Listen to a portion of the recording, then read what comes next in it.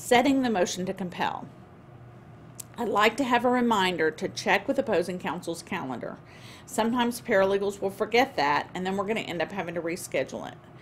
Of course, again, the clients do not like this courtesy. They view it as a courtesy. Why are you being nice to them? We're not being nice to them. The rules provide, ethical guidelines provide that we take these steps. And just as a practical matter, if they can't be there, they can't be there. So we're going to have to reschedule it anyway.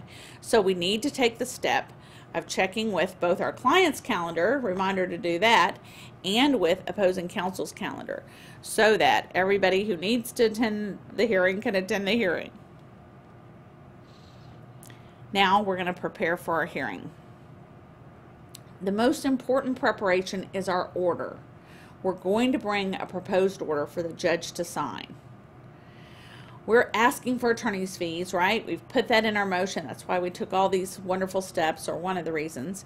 So we want to include a blank for the attorney's fees to be filled in, and a blank for a specific date for them to produce the records that we're asking them to produce. We will leave it blank and let the judge fill those in. We need to have an attorney's fees summary. So if we're asking for attorney's fees, we have to be able to prove them up. So we have to tell the court it took us this much time to do the motion, this much time to appear here, this much time to prepare our order, and that's how we prove up our attorney's fees. And a little note, you'll see whenever this I is here, there's more information, you can just cursor over it. It says attorney's fees summary only associated with this topic.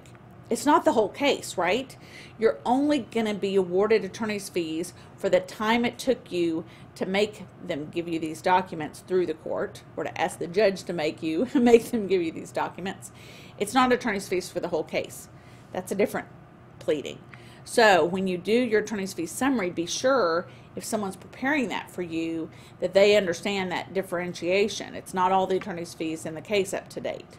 And we do two things. One, we do um, billing statements. So you see the next one, have copies of your billing statements. And then our little extra information is redact any attorney-client privilege in the attorney's billing statement and highlight what you've included. So this is important for the lawyer so they know what they're testifying to. Examples of attorney-client privilege that could be in your bill is I spoke with Mary Sue about what a jerk Joe Bob is being and that Joe Bob keeps saying blah blah blah and that she keeps doing blah blah blah. You know the contents that information would be attorney-client privilege. So the portion that says telephone conference with Susie Q that's not attorney-client privilege. It's just what what it was regarding.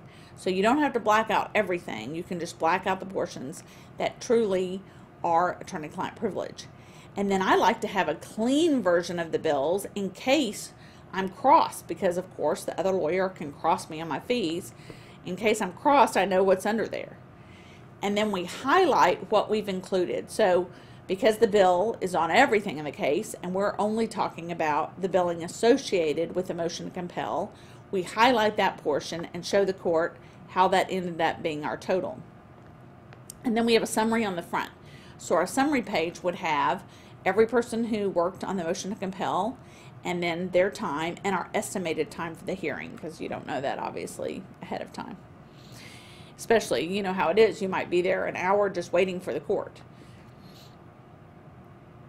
Okay, then I like to have three copies of the discovery requests I'm complaining have not been complied with, and then three copies of the letter requesting the information that I'm complaining that I did not receive, and three copies of their responses that I'm saying are inadequate because everybody's going to have to read along with all of this, right? Okay, when you're up there, you're going to be saying, here, judge, is the what the request was, here was their response, here's their objection, and then the order is almost going to look like a workbook because you're going to have number one, we asked for all the bank records from 2009, and we're going to have the objection listed, objection sustained or overruled, and we're going to have a blank under sustained and a blank under overruled, and the judge can check one off. And then we're going to have lines, just blank lines like on a piece of paper, underneath that for the judge to write any notes. Because sometimes they'll sustain as to part Like in that example, they may say, you know, 2009 is too far back, but you have a right to get 11, 12, and 13. So they'll say sustained as to 9 and 10, but overruled as to 11, 12, and 13. So we have lines so the judge can write whatever their ruling might be. So it does kind of look like a workbook, but it's very helpful to the court if you do it that way. And you'll get a very clear ruling, which will be helpful. We have an example of that type of order in the documents section of Smart Legal Practice.